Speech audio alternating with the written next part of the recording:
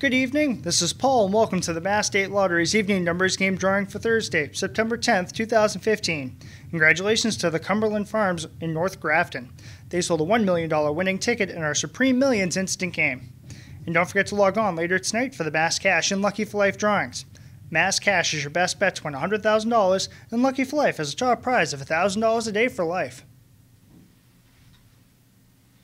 Now let's take a look at the winning numbers. 0787. Once again, the winning evening numbers for Thursday, September 10th, are 0787. We'll see you later for the Mass Cash and Lucky for Life drawings. Good luck.